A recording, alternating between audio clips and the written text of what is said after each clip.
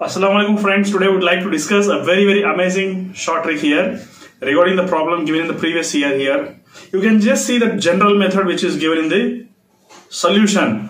Uh, I think this is the general solution but uh, uh, I would like to discuss inshallah uh, the solution given by me which will help you to save a lot of time. You can do the problem in just fraction of seconds and it will be amazing and it's very interesting also.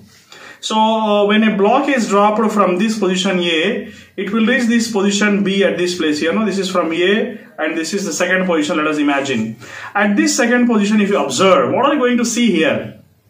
You can see that velocity because of uh, vertical circle uh, is given as root of 5gr. Okay, root of 5g Kepler.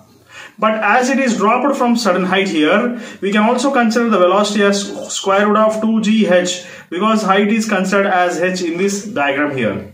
Okay, so as from here it is skidding down, the velocity is taken as root of 2gh.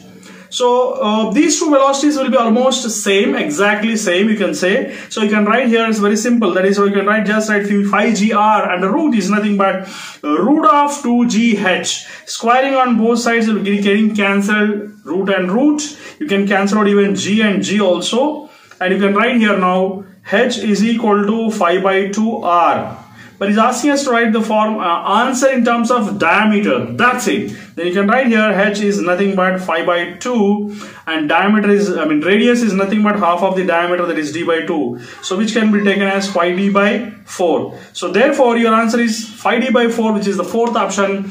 Hope you have enjoyed this. Thank you very much